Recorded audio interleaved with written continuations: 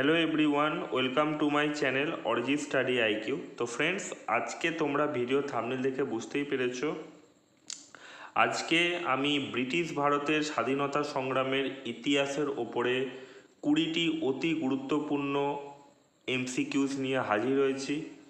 এই ধরনের এমসিকিউসগুলো মেনলি কিন্তু আমি ডাব্লিউবিসিএস এবং পিএসসি ফুড এসআই এর কথা মাথায় রেখেই কিন্তু ভিডিওগুলো তৈরি করছি।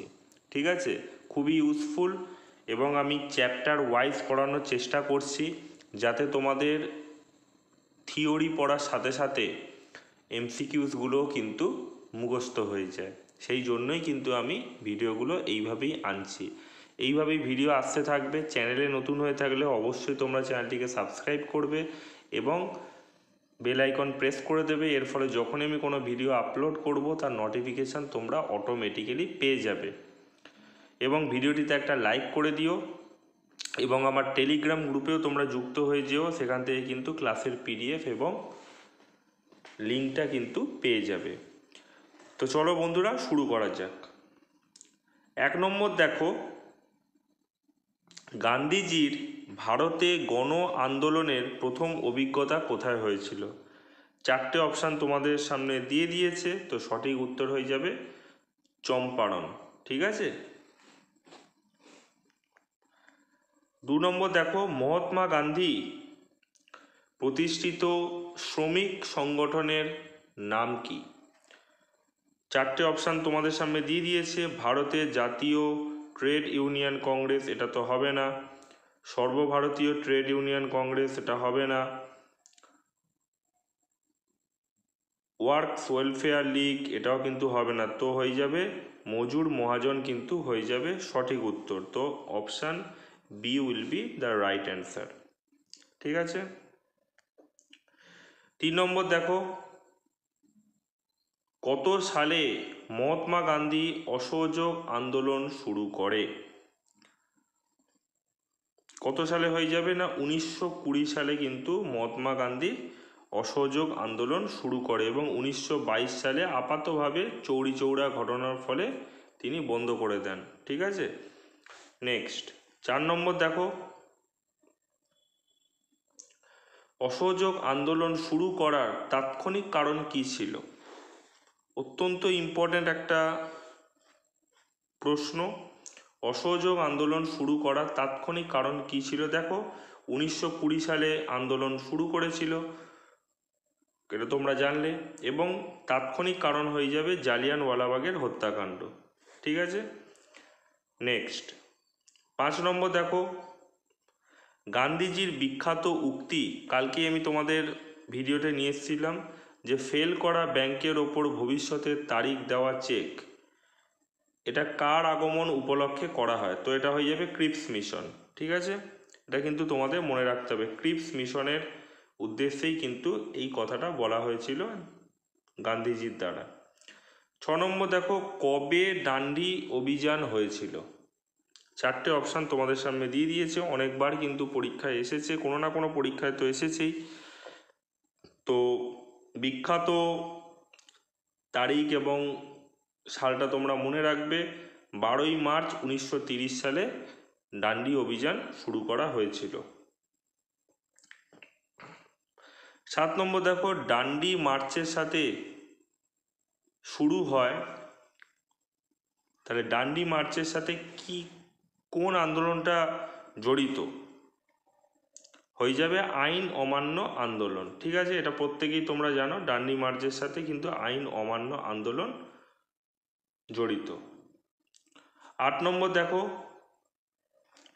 কে উনিশশো বত্রিশ খ্রিস্টাব্দে কমিউনাল অ্যাওয়ার্ড ঘোষণা করেছিলেন, ঠিক আছে? সাম্প্রদায়িক বাঁটোয়ারা যেটা, সাম্প্রদায়িক বাঁটোয়ারা নীতি, ঠিক আছে? কে করেছে উনিশশো বত্রিশ সালে? দেখো, র্যামসে ম্যাকডোনাল্ডকে কিন্তু বলা হয় the father of communal award ঠিক আছে? তো তিনি কিন্তু সাম্প্রদায়িক বাঁটোয়ারা নীতি কিন্তু তিনি প্রথম ঘোষণা করেছিলেন উনিশশো বত্রিশ সালে, ঠিক আছে? দেখো, কমিউনাল অ্যাওয়ার্ড তাকেই বলা হয় the father of communal award বলা হয়, ঠিক আছে? ন নম্বর দেখো, কোন ঘটনার পর মহাত্মা গান্ধী অসহযোগ আন্দোলন প্রত্যাহার করেন? তো আমি একটু আগেই তোমাদের বলেছিলাম প্রথমে, চৌরি চৌড়ার ঘটনার পরে কিন্তু মহাত্মা গান্ধী অসহযোগ আন্দোলন প্রত্যাহার করে নিয়েছিলেন। সাময়িকভাবে আবার পরবর্তীকালে শুরু করেছিলেন, সেটা তোমরা পরে জানতে পারবে। দশ নম্বর দেখো, পাকিস্তান প্রস্তাবটির জনককে তো পাকিস্তান যে ওয়ার্ডটা প্রথম তৈরি হয়েছিল সেটা জনককে। দেখো চৌধুরী রহমত আলী, ঠিক আছে? তো একটা মুসলিম লোকই হবে, তো কে হয়ে যাবে না? চৌধুরী রহমত আলী, পাকিস্তান প্রস্তাবটির জনক। আচ্ছা নেক্সট মহাত্মা গান্ধী নেতৃত্বে প্রথম গণ আন্দোলন কোনটা ছিল? তোমরা অপশান দেখো। প্রথম গণ আন্দোলন কি হয়ে যাবে না অসহযোগ আন্দোলন? তোমরা প্রত্যেকেই জানো যে জালিয়ানওয়ালাবাগের হত্যাকাণ্ডের পরেই কিন্তু অসহযোগ আন্দোলন শুরু করেছিলেন গান্ধীজি। ওকে? আচ্ছা।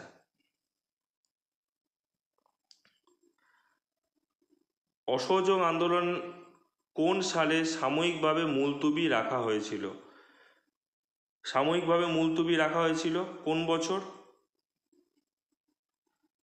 তো অপশান সি হয়ে যাবে রাইট অ্যান্সার ঠিক আছে? উনিশশো বাইশ সালে চৌরি চৌড়ার ঘটনা হয়েছিল, তো সেই জন্যই কিন্তু মুলতুবি করে রাখা হয়েছিল অসহযোগ আন্দোলনকে।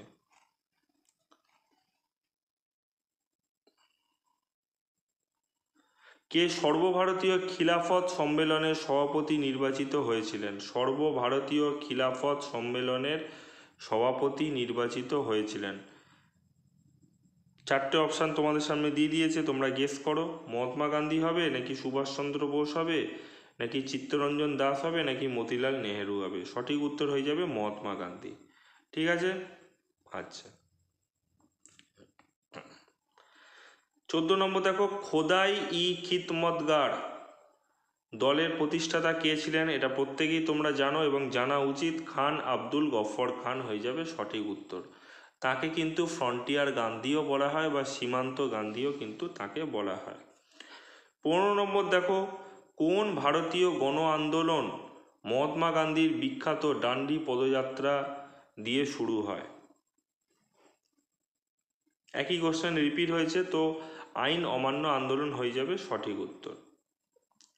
ষোলো নম্বর দেখো, গরিবি হাটাও, স্লোগানটি প্রথম কে দিয়েছিলেন? ষোলোর এ হয়ে যাবে সঠিক উত্তর। তো ইন্দিরা গান্ধী কথাটা প্রথম বলেছিলেন যে, গরিবি হাটাও। সতেরো নম্বর দেখো, বরদৌলি আন্দোলনের নেতা কে ছিলেন?